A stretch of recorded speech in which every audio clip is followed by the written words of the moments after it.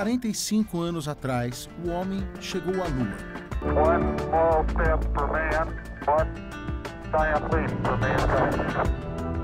Um marco da Guerra Fria, uma conquista sem tanta utilidade futura quanto era imaginado.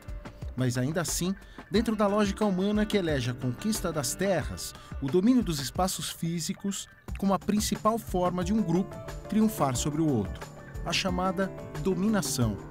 No geral, o triunfo dos pequenos grupos sobre a imensa maioria. E as cidades são um reflexo dessa lógica.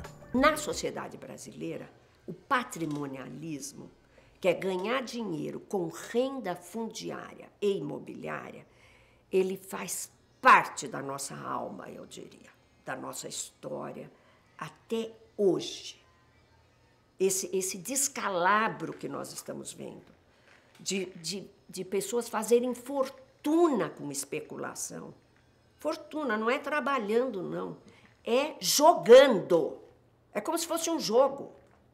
A forma como a gente cresce economicamente é uma forma muito nociva para a lógica do crescimento da cidade. A forma de, de, de, crescimento econômico, ela é uma forma que, é, vamos dizer, que se apoia em modelos de urbanização que são muito ruins, que são perversos, que são segregadores, que são é, é, preconceituosos, que são... Então, é, o momento que a gente vive agora no Brasil é difícil de entender por causa disso. A gente olha as cidades crescendo, a gente vê prédios por tudo quanto é lado, a gente fala, puxa, esse Brasil está né, pujante, está maravilhoso, mas na verdade, a gente com isso, provavelmente, a gente vai ver do outro lado um aumento da tragédia urbana. São Paulo é a cidade dos muros. Poucas cidades do mundo têm uma diferenciação tão clara entre o que é centro e o que é periferia, entre o que é cidade de rico e cidade de pobre. São Paulo é uma cidade higienizada, né? E foi a lógica do seu desenvolvimento foi feita para jogar pobre para cada vez mais longe. Se as cidades brasileiras já eram cidades desiguais, se o desenvolvimentismo do pós-guerra e se o Estado totalitário, tecnocrático, autoritário da ditadura gerou cidades desiguais, agora entregue ao livre funcionamento do mercado, a gente assiste um aprofundamento brutal dessas desigualdades. E os prefeitos se associam a esses grandes empreendimentos, tornando, ah, difundindo a ideia de que esses grandes empreendimentos produzem uma nova imagem da cidade, modernizam a cidade. Em 2001 se estruturou o Estatuto da Cidade que determina que os municípios maiores de 20 mil habitantes têm que ter um plano diretor, que já estava lá na Constituição de 88, mas pouca gente fazia, tem que é, é, dentro desse plano diretor, incorporar várias regras que visam é, combater esse desequilíbrio social urbano. Então são instrumentos como as zonas especiais de interesse social, que determinam áreas da cidade que, e que prioritariamente, obrigatoriamente, eu vou ter que fazer habitação social. São instrumentos como o direito de preemção, que dá o direito à prefeitura de comprar terrenos prioritariamente sobre o mercado.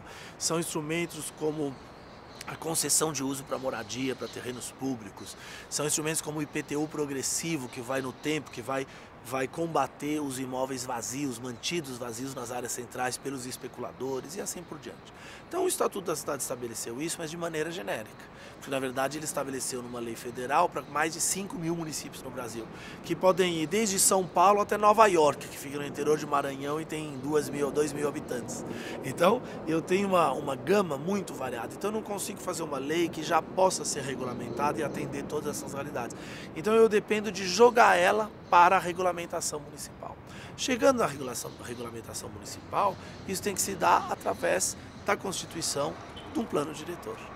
E aí é que a coisa pega.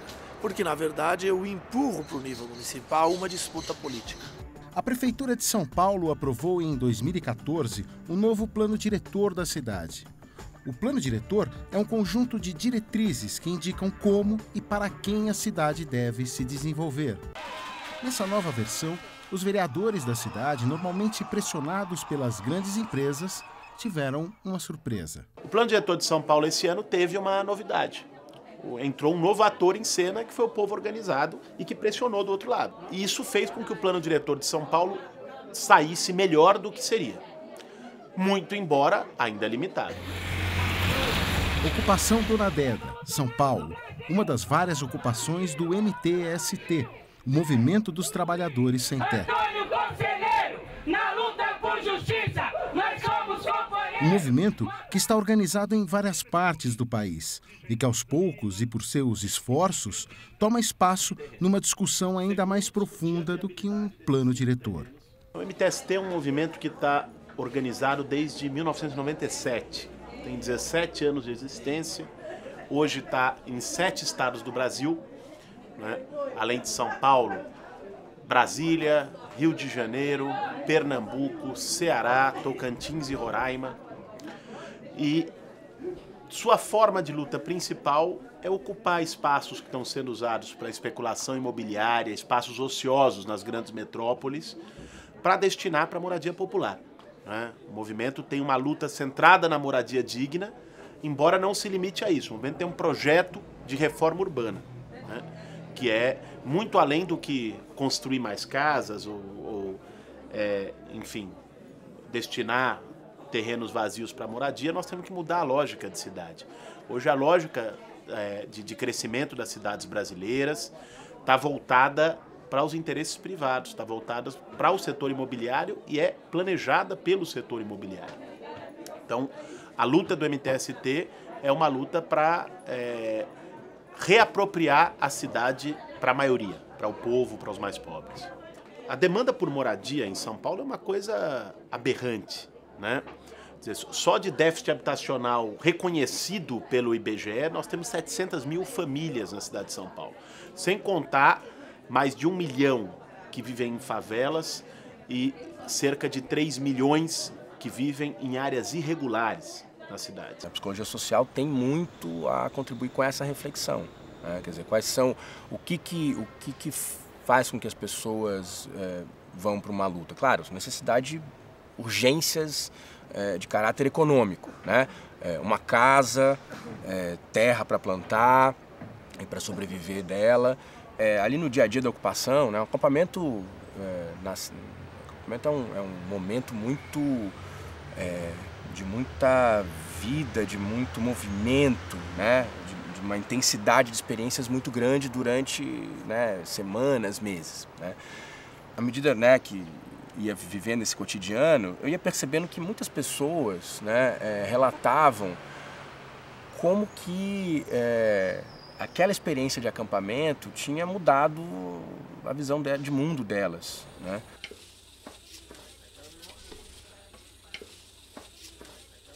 Meu nome é Josué Rocha e estou coordenando aqui a ocupação Copa do Povo. A gente entrou no dia 3 de maio, está com um pouco, dois meses e meio mais ou menos, né, aqui no terreno. Essa dinâmica da, daqui é uma dinâmica que a gente procura utilizar em todas as ocupações, né? Assim que a gente ocupa o terreno, a gente estimula a construção dos barracos. Depois que eles estão construídos, a gente divide em grupos. Cada região né, de barracos, mais ou menos dividido pela, pela geografia do terreno mesmo, a gente chama de um G, que é um grupo. Né? Aqui na ocupação a gente tem oito grupos, do G1 ao G8. Cada grupo tem a sua estrutura de cozinha coletiva, banheiros coletivos e uma coordenação própria desse grupo que organiza o dia a dia daquele grupo, desde a limpeza até a arrecadação de doações para a cozinha, né, até de, é, o controle das pessoas que estão presentes ali no dia a dia do grupo. Vamos naquela cozinha ali, ó. ali é uma cozinha que o pessoal está ali. Tudo bom, gente? Pessoal pode filmar um pouquinho aqui? Então, cada grupo tem a sua cozinha própria, né? A gente consegue, através de parceiros da comunidade ou das próprias famílias que estão aqui morando, doações de alimentos que são cozinhados. A gente garante três refeições por dia, que é o café da manhã, o almoço e o jantar.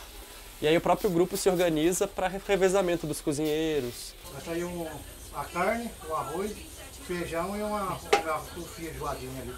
E a gente sabe, né, a cultura brasileira é muito rica nisso, o que, que é o significado da cozinha. Né? A cozinha, o espaço nas casas populares é, é o maior cômodo que tem onde as pessoas se juntam, um espaço mais quente, mais acolhedor, né? E onde as pessoas compartilham comida, né? Que é um, enfim, uma das melhores formas de se criar vínculo né, entre as pessoas é compartilhar da comida e da bebida. Né? Então, evidentemente que um espaço que as pessoas todos os dias se organizam coletivamente para um vai pegar doação, um cozinha, outro lava, outro pega lenha para fazer o fogo. Você imagina o que é isso durante dois meses? que, que isso não forma né, de vínculos, de experiências? Né? As pessoas falavam, olha, aqui eu, eu mudei minha, dei minha visão de mundo, aqui eu fiz um monte de amigo. Arroz está pronto. Que é isso, olha, a gente tá aqui. A gente tá aqui, a gente tem força e a gente vai lutar para melhorar a nossa vida e vai lutar para transformar essa sociedade. Para alguns ganharem muito dinheiro, muitos são excluídos, segregados, vão para a periferia isolada, tal. No momento que o Minha Casa Minha Vida é, é implementado, é muito dinheiro para o financiamento, que finalmente foi regulado, ele encontra uma base que não, tá, que não foi reformada. A, a reforma fundiária, imobiliária, nós vamos dar sempre no nó da terra na sociedade brasileira. Essa reforma da base, da terra urbanizada, né, ela não foi feita. As pessoas que chegam aqui para uma ocupação nossa vêm por luta por moradia. Né? É, são pessoas que moram de aluguel nas comunidades próximas, moram de favor e precisam fazer a luta por moradia. Aí elas entram para a ocupação para fazer essa luta e com o tempo acabam se envolvendo de fato com o movimento e muitas se tornam é, no futuro militantes do movimento que vão fazer essa luta para além da sua própria ocupação.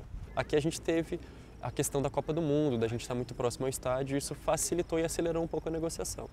Mas é, a gente tenta sempre brigar por um projeto habitacional que atenda todas as famílias que estão na área ao mesmo tempo. Durante o processo de luta, né, que a gente chama de acampamento, talvez, pensando agora, talvez mais importante que, que trabalhar o pertencimento àquela terra é trabalhar, o pertencimento àquele coletivo, àquela comunidade. Né? Porque, na verdade, é, é, é isso que vai é, é, fortalecer a luta. Né? Se aquela comunidade em luta, se aquele coletivo é, tem vínculos fortes, né? É, seja, esteja onde estiver, esse coletivo vai estar tá junto, vai estar tá organizado e vai lutar até o final. Tomar cuidado também para não idealizar, né? Porque um acampamento também é uma situação de muita precariedade, né? É, o acampamento, ele, se ele dura muito, né? Muito tempo, na verdade, essas, esse potencial de experiências transformadoras também pode se reverter e virar, virar no seu contrário, né? pode também, essa precariedade também vai desgastando as pessoas, né? Mas, é, de fato, a, a, ocupação, uma ocupação de terra urbana, de, de, uma ocupação no campo, ela, de fato, ela tem sim aspectos terapêuticos. A nossa sociedade não consegue perceber que a cidade que funciona tem que ser a cidade democrática, tem que ser a cidade que reinclua essas pessoas. Então, nas escolas de arquitetura se aprende a fazer prédio e projeto para a cidade que vale, para a cidade dos 30%. As discussões sobre a cidade, quando a gente fala a cidade, a gente do Rio de Janeiro, a gente pensa na Zona Sul.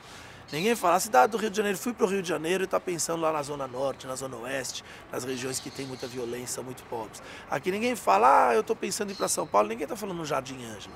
Tá todo mundo falando na Paulista, tá todo mundo falando na, na Brasil, nos bairros dos Jardins, no bairro de Pinheiros, ou seja, os bairros que são os bairros que funcionam.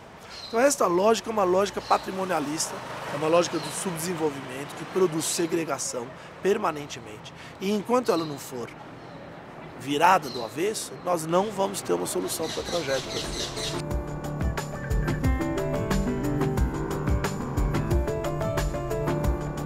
No próximo episódio de Diversidade, diferentes olhares e atitudes sobre a divisão e a posse da terra, comunidades tradicionais que se adaptam até certo ponto ao século XXI.